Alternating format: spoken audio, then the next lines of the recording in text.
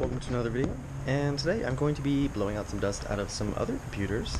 Uh, today we are blowing out the dust out of this one, which is an HP Pavilion P7 1254.